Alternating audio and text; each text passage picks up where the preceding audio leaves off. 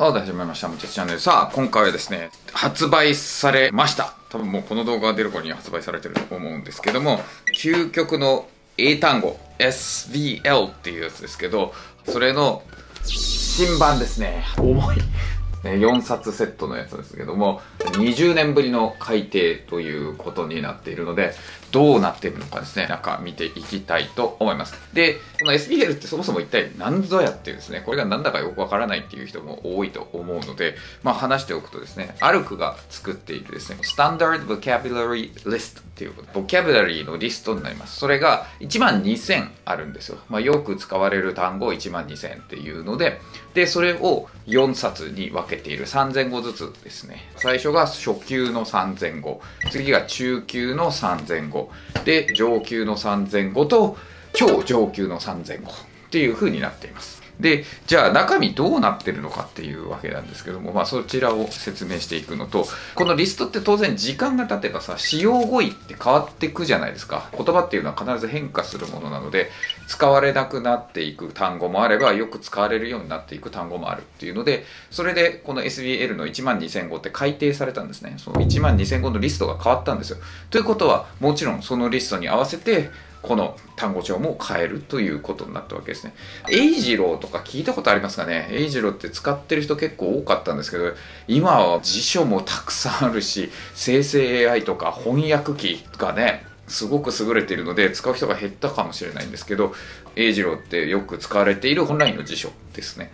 で、普通の辞書よりもオンラインでいろんなものが引けるということでね、えー、なんか載ってない例文とかいろいろあるじゃないですか。熟語とか。そう。普通の辞書に載ってないのとかもかなり載ってたので英次郎っていうのを使ってる人が多かったんですね。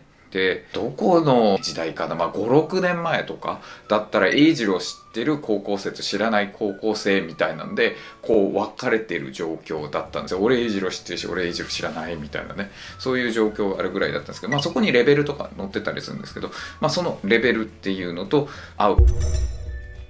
じゃあどういう人に合うのかっていうのを説明していきたいと思います。まず僕自身はこの4をね、ものすごく使いました。改訂前の4をボロボロになるまで使いました。で、英検1級に関しては、昔はパスタンとこれ、パスタンの1級と、この SBL の4を使って受験するみたいなのが、まあ、ある意味スタンダード的なものでした。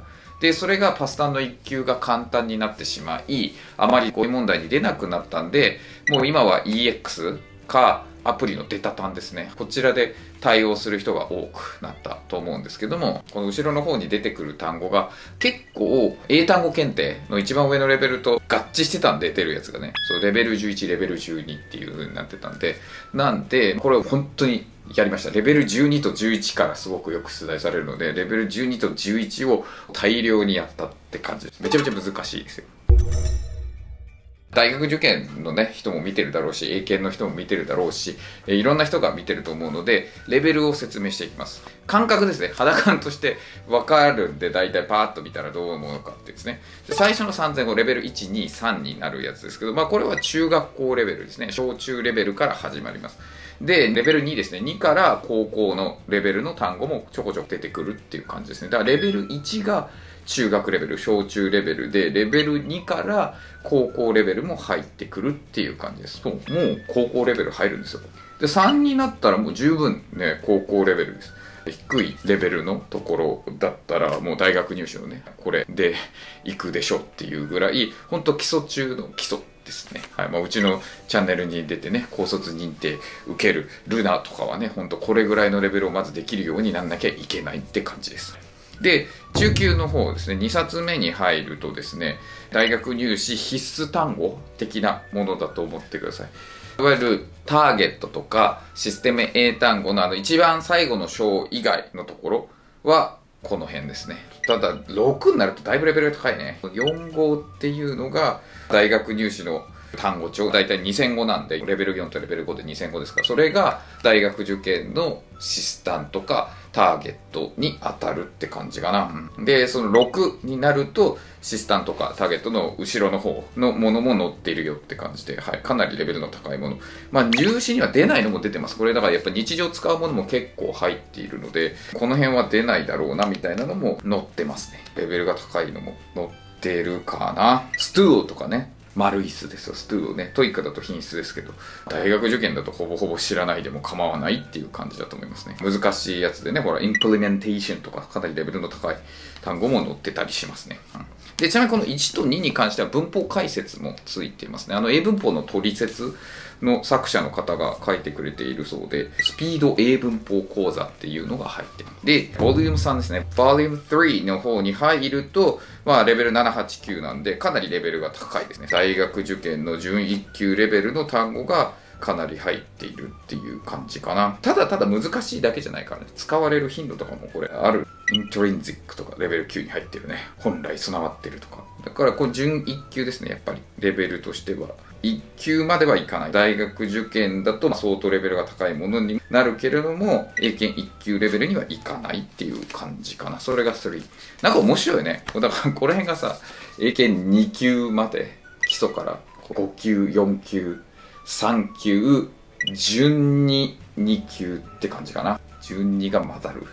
で、これが順1ぐらい。で、これが1級って感じかな。レベル的にはね。まあ、あくまで感覚ですから。もうこれになると、もう相当難しい、やっぱり。こんなのね、リビアとかね、アガメル、覚えたわ。もう懐かしい、懐かしい。覚えましたよ、これ。英単語検定のために。やっぱ日常使う単語もあるんだけどね。じゃあどういう構成になってるかっていうのと、これ持つ人って英検1級とかさ、国連英検とか受ける人も多いと思うので、あとはまあ何ですかもう大学入試で超レベルの高いところに行きたいよとかっていうね、人もいるかもしれないんでね、自分が愛用してたものを使いながら説明していく。Word Origins って言って語源ですね。それが載ってて、で、その後でレベル10から始まって、まあいろいろテーマごとに分かれてるんですけど、この最初がね、デュオみたいなやつなんだよね。えー、わかるかな？この短文があって、その下に使われてる表現が説明されてる単語が説明されてるんでだから簡単なのも載ってたりするわけですね。そう文中に出てるものが全て難しいわけではないので。で面白いのは動詞の場合にね型乗っけてくれたりするんでね。例えばボルスターだったら強化するんですけど SVO の型取りますよとかっていうね文系の説明もしてくれるので面白かった。勉強してた時に。頻出の形はこれだよとかね bolster one's confidence ね自信を高めるだよ。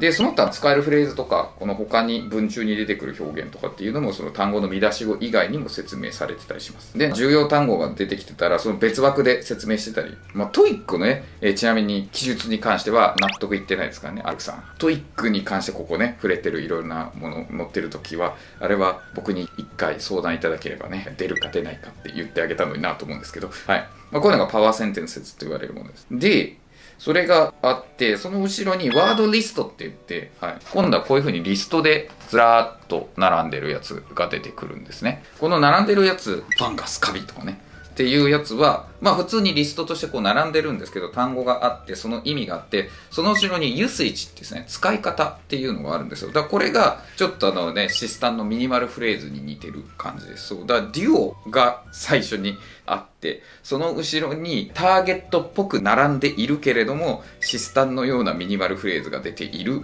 リストが並ぶって感じです。ああ、こんなんなんだって思ったのを多く覚えてます。自分自身もね。そう。だから覚えるときに、例文はヒントとしてやっってましたね。だから例文暗記というよりは、まあ、単語の意味をゴリゴリゴリゴリ覚えて、その後でこれどうやって使うのかなっていう時に、ユーセージですね、を見たりとか、あとはね、類語表現を山ほど書き足してやってました。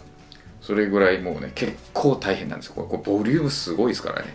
まあ、その他ね、単語帳の回し方に関してはね、ぐるぐる勉強法のやつ出てますんで、そちら見ていただいてもいいかなと思います。これはね、なかなかすごいんだよ。懐かしいな。これ苦労したの覚えてますよ。